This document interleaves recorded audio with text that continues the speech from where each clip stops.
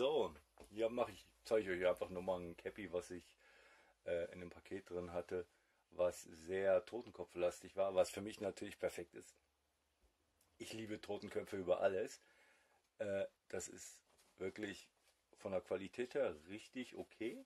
Kann man nicht sagen, ein bisschen vergilbt oder so, aber es lag wahrscheinlich schon länger im Lager. Steht jetzt kein Hersteller drauf. Ich denke einfach mal, dass es Rock Daddy sein wird. Das Paket war halt sehr Rock Daddy lastig. Äh, schönes Cap, schöner Druck. Das war's auch schon. Ich werde euch das Teil verlinken. Schaut auch auf jeden Fall mal in den Shop rein. Geek Invader auf Amazon oder Mick Fun Shopping im Netz.